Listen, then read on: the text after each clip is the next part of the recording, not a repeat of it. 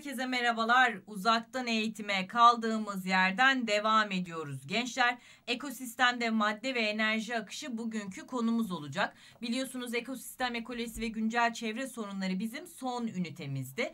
Ekosistemlerde madde alışverişi de ÖSYM'nin çok sevdiği bir konu. Geçen sene de üniversite sınavında çıktı. Bir önceki sene de üniversite sınavında çıktı gençler. O yüzden bizim için madde ve enerji akışı kısmı oldukça önemli olacak. Daha önce ekolojik kavramlardan bahsetmiştim. Tür, popülasyon, komünite, ekosistem, biyosfer. Bu konuları yapmıştık. Ekosistemde canlı faktörlerin ve cansız faktörlerin olduğunu söylemiştik. Şimdi de ekosistemlerde madde aktarımı bu canlı faktörler arasında nasıl gerçekleşiyor? Enerji aktarımı nasıl gerçekleşiyor? Bunlardan bahsedeceğiz. Şimdi baktığımız zaman besin ağları, besin piramidi dediğimiz yapılar kurulmaya başlayacak. Yani şöyle söyleyeyim ben size. Enerji akışı sayfa 156'dan başlıyorsunuz. 157, 158, 159 bizim bugünkü dersimizin konusu olacak. Bir sonraki derslerimizde de biyolojik birikim kısmını daha detaylı olarak anlatacağım ama aslında bugün de biyolojik birikimden bahsedeceğim. Bu kısımla ilgili soruları da yapabilirsiniz. Sıfırdan ona da sayfa 161'e kadar yapamadığınız hiçbir kısmın kalmaması gerekiyor. Gençler aynı mantık tabii ki e, dinamomuz yani soru bankamız için de geçerli. Abiyotik ve biyotik faktörler bir önceki dersimizin konusu olmuştu. Şimdi de enerji akışını göreceğiz. Sayfa 146, 147, 148 ve 149'daki soruları çözüyor olmanız gerekiyor bu dersin sonuna geldiğimiz zaman gençler. Tabii ki konudan bahsettim ama bugün neler öğreneceğiz biraz daha detaylı bakalım. Hazırsanız başlıyoruz.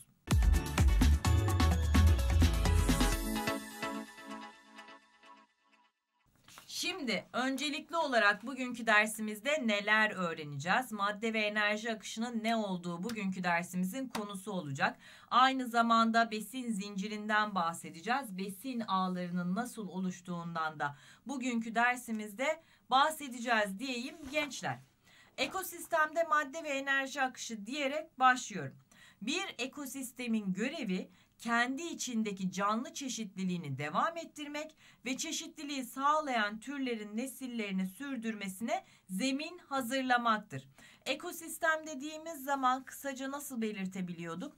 Ekosistem dediğimiz şeyler aslında komünitelerin cansız faktörlerle birleşmesi sonucunda meydana getiriyor geliyordu. Yani komünite artı A biyotik faktörler ekosistemleri meydana getirir diyebiliriz gençler. Akdeniz ekosistemi yani Akdeniz'de yaşayan hem canlılardan bahsediyoruz hem de oranın havasından, suyundan, pH'ından bahsediyoruz diyeyim gençler. Ekosistemin görevi ne? İçerisindeki canlı çeşitliliğini devam ettirmek, tür çeşitliliğini sağlamak, canlıların yaşaması için uygun koşulları oluşturabilmek.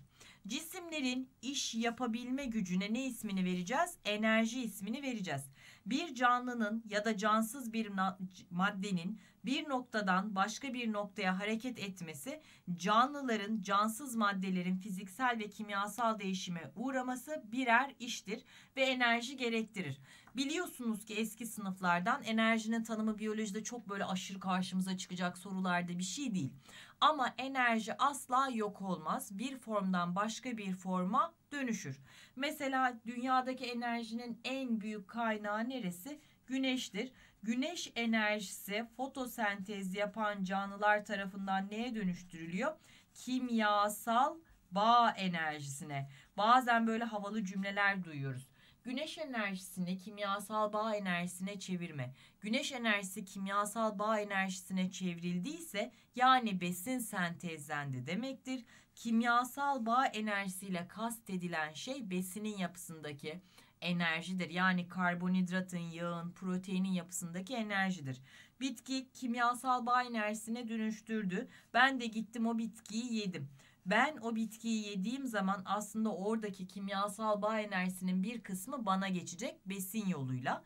Ama bir kısmı da tabii ki ısı olarak kaybolacak, bitki kendisi kullanacak gençler ekosistemdeki canlı çeşitliliğinin ve bu çeşitliliği sağlayan canlıların nesil devamlılığının sağlanmasındaki en önemli kavramlar enerji akışı dediğimiz kavramlardır. Aynı zamanda madde döngüsü dediğimiz kavramlardır. Enerji akışı dediğim gibi uzun uzun anlatacağımız bir konu olacak. Enerji akışını bitirdikten sonra da madde döngülerinden bahsedeceğiz.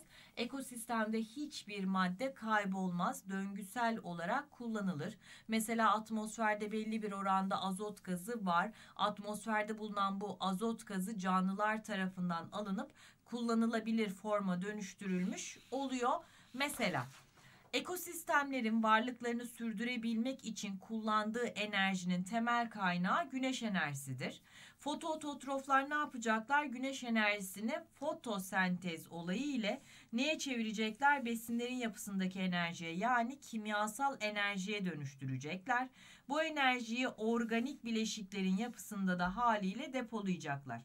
Üretilen organik bileşiklerin bir kısmı fotoototroflar tarafından metabolik faaliyetlerde kullanılacak. Tamam güneş enerjisini kimyasal bağ enerjisine çevirdi, onu da besinin yapısında depoladı ama bu hiç mi içeride boşaltım yapmayacak, hücre bölünmesi yapmayacak, protein sentezi gibi biyosentez tepkimesi yapmayacak? Tabii ki yapacak. Ne yapacak? Enerjinin bir kısmını kendi işinde kullanacak. Otu çekirge yiyecek. Çekirge koşacak, zıplayacak, yine hücre bölünmesi yapacak, protein sentezi yapacak. O da enerjinin bir kısmını kullanacak. Onu yiyen kurbağaya daha az bir kısmı aktarılmış olacak diyeyim. Bir kısmı ise beslenme yoluyla diğer canlılara geçer diyor. Bu şekilde güneşten başlayarak önce üreticilere ardından beslenme yoluyla diğer canlılara doğru sürekli bir enerji akışı gerçekleşir ve bu akış ekosistemlerde tek yönlüdür. Yani güneş enerjisini kim alacak? Üretici canlılar alacak. Üreticileri kim yedi? Birincil tüketiciler. Birincil tüketicileri kim yedi? İkincil tüketiciler. Böyle böyle son tüketicilere doğru gidecek gençler. Ayrıştırıcıları besin piramidinin üstünde zannetmeyin. Ayrıştırıcılar besin zincirinin her yerinde görev yapacaklar. Yani bunu piramit halinde çizmiş olsaydık ne yapacaktık?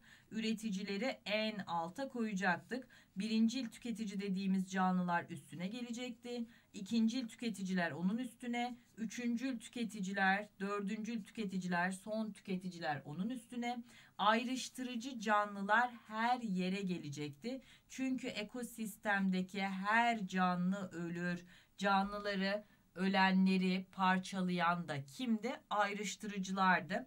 Ot da ölür, çekirge de ölür, kurbağa da ölür, yılan da ölür. Sonuçta ayrıştırıcı canlılar her basamakta görev yapmak zorunda diyeyim gençler. Sucul ekosistemlere baktığımız zaman mikroskobik fotosentetik ototroflarla başlayacak. Bunlara da genellikle fitoplankton ismini veriyoruz. Mikroskobik tüketicilere de zooplankton ismini vereceğiz. Üreticilerle beslenen otçul canlılara birincil tüketici denir. Birincil tüketiciler enerji kaynağı olarak üreticileri kullanır.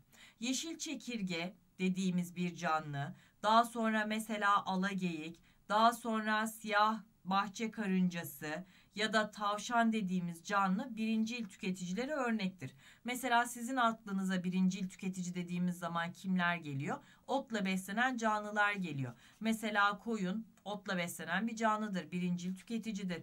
At birincil tüketicidir. Ondan sonra inek birincil tüketicidir. Çekirge dediğimiz canlı birincil, çekirge birincil tüketicidir. Tavşan birincil tüketici olmuş olacak diyeyim gençler. Birincil tüketicilerle beslenen canlılara da ikincil tüketici ismini vereceğiz. Enerji kaynağı olarak bu canlılar otçul canlıları kullanıyorlar. Yani bu canlılar etçil beslenme özelliğine sahip. Kimlerden bahsediyoruz? Kahverengi örümcek karşımıza çıkar. Kurt karşımıza çıktı, tilki karşımıza çıktı. Ötleyen dediğimiz canlı da yine etçil olarak karşımıza çıktı. Sorularda en çok kimler gelir karşıma? Aslan etçil bir canlıdır. Kaplan etçil bir canlıdır. Kartal etçil bir canlıdır.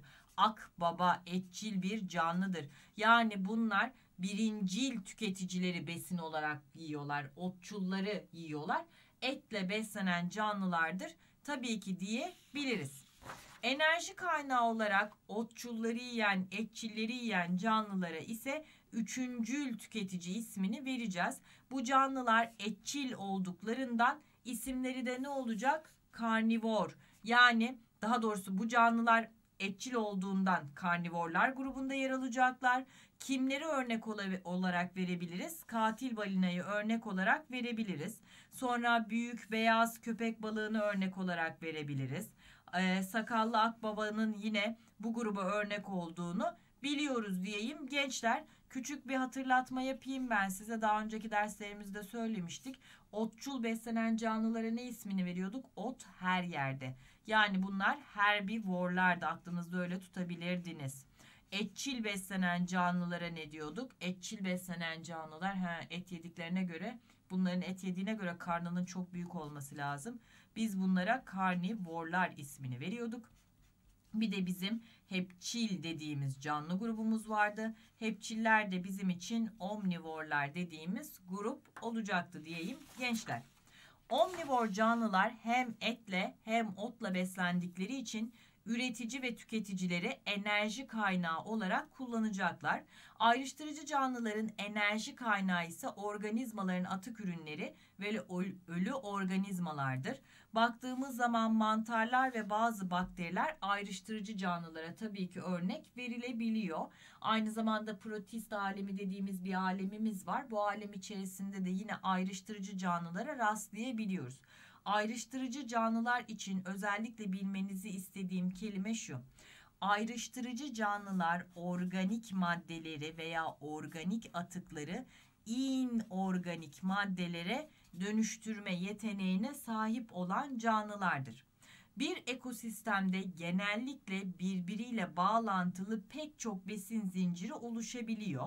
Belirli bir komünitede madde ve enerjinin üreticilerden tüketicilere doğru aktarılmasına da besin zinciri ismini veriyoruz. Mesela sucul bir besin zincirinden bahsedelim.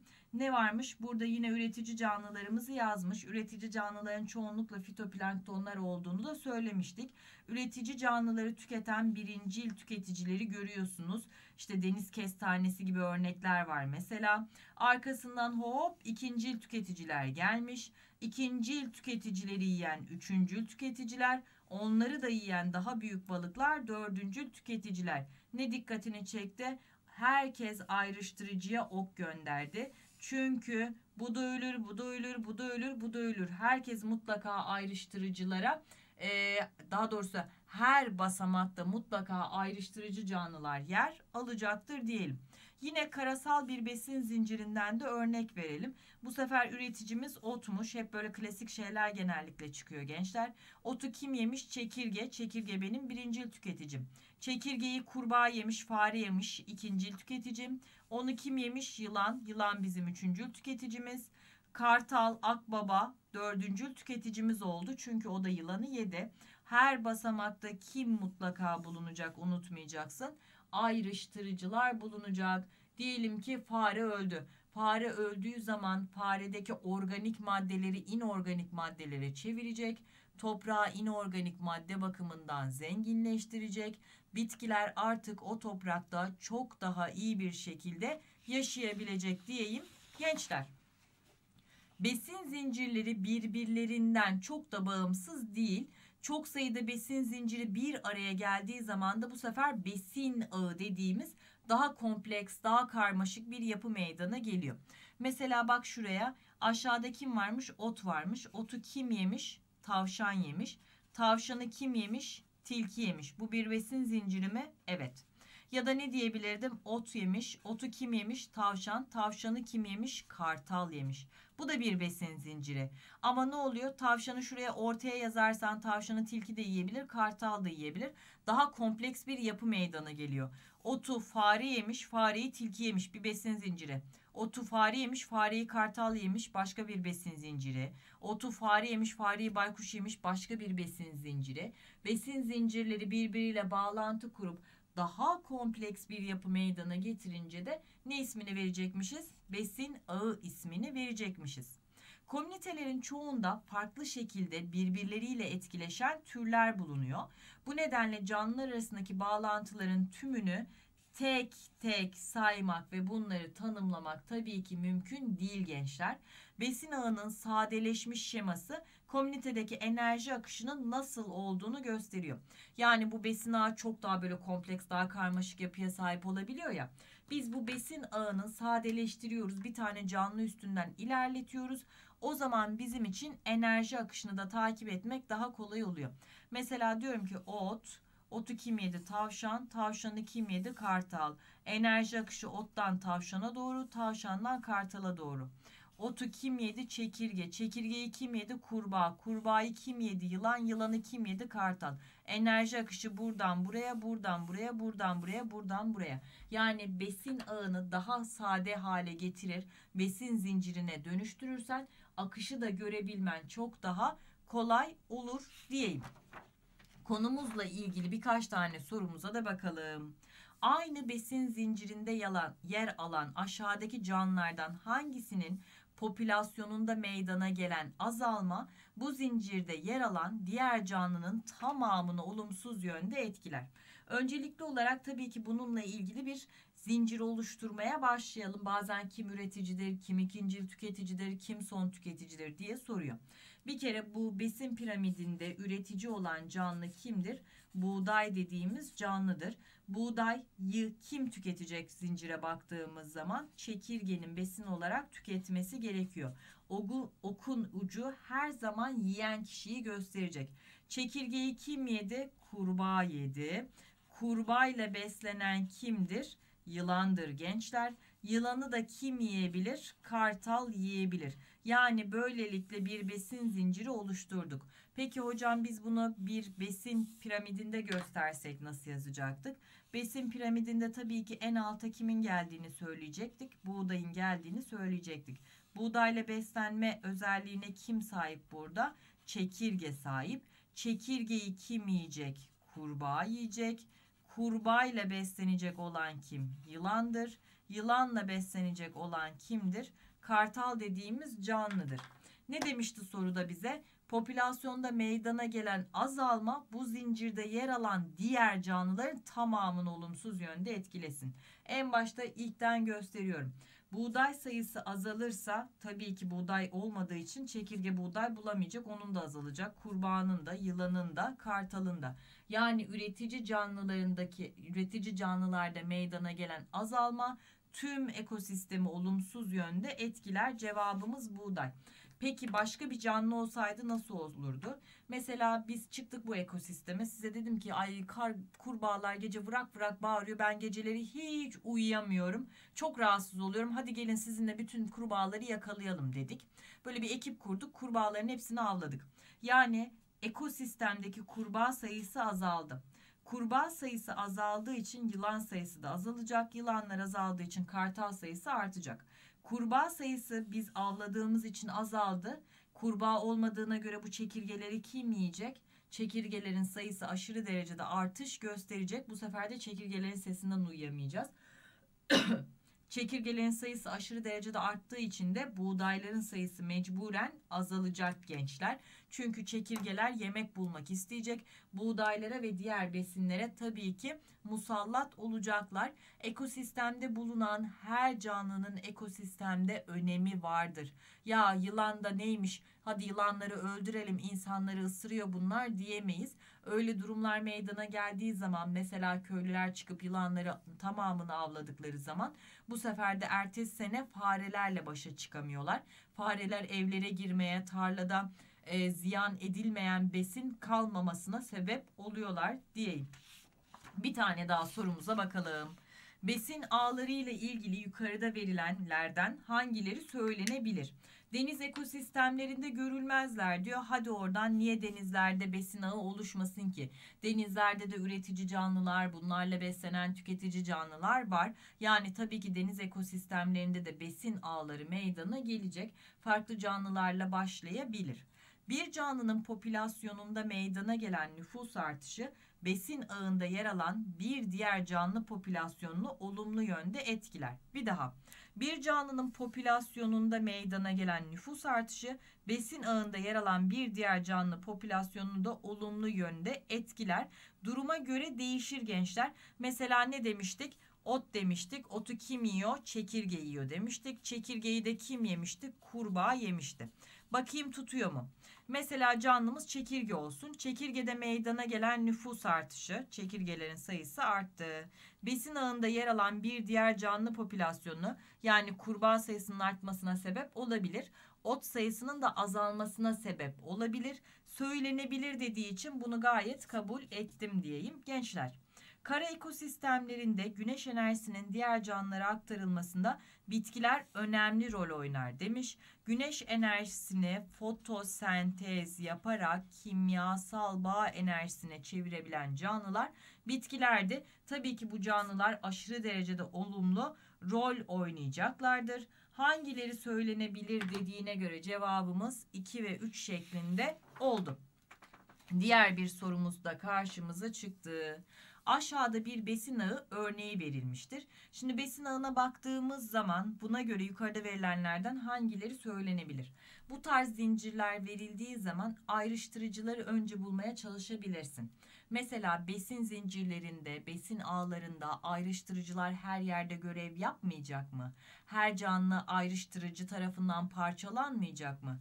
X'in ucu ayrıştırıcıya, Y'nin ucu ayrıştırıcıya, Z'nin ucu ayrıştırıcıya gitmek zorunda. O zaman T ile yazdığımız canlının ayrıştırıcı canlı olduğunu söyleyebiliriz. Ayrıştırıcılara aynı zamanda saprofit, aynı zamanda çürükçül dediğimizi unutmayın.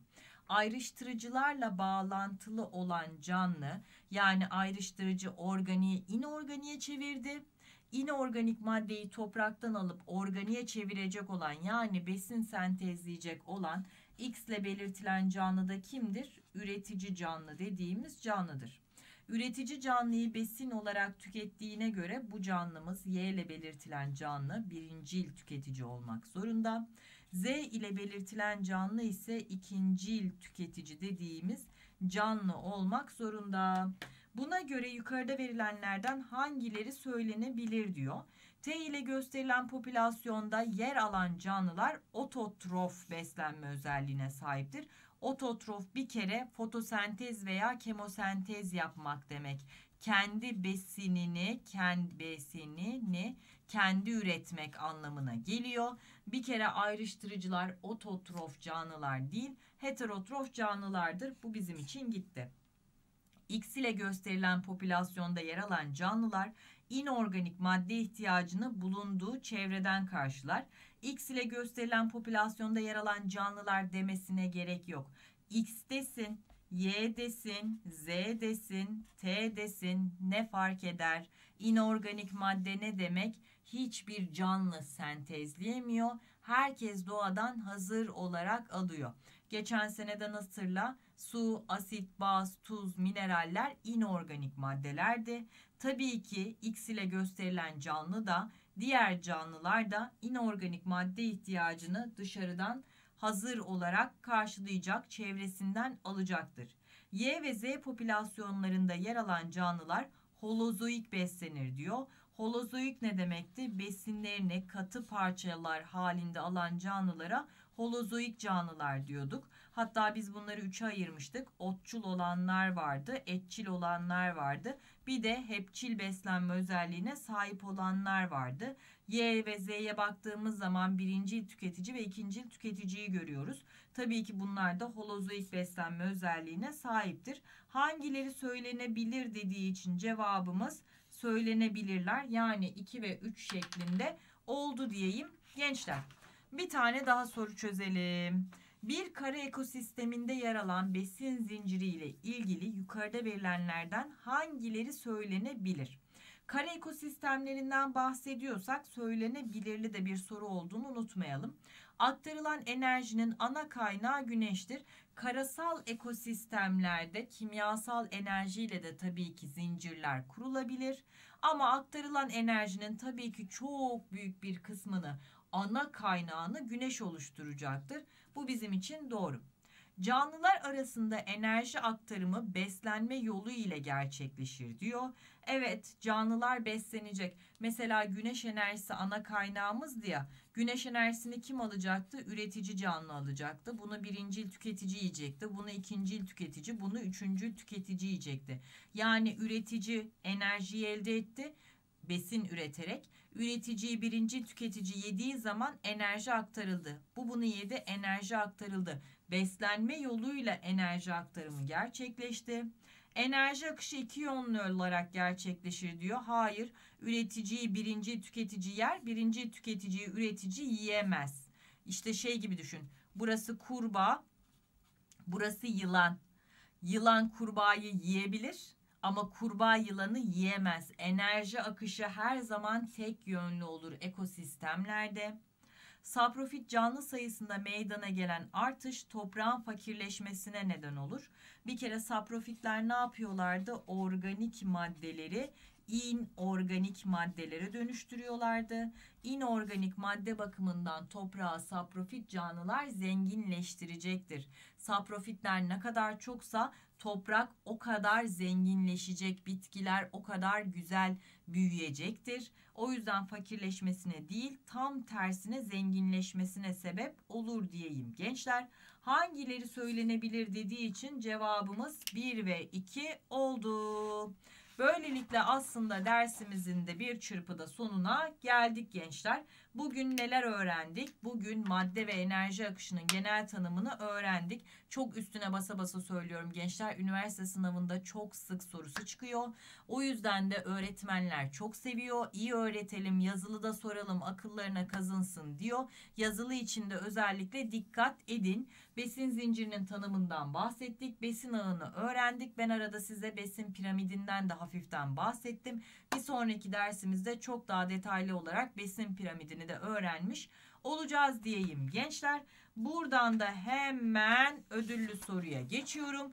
Videoyu beğenmeyi unutmayın. Ödüllü soruya cevaplarınızı yorum kısmına bekliyorum.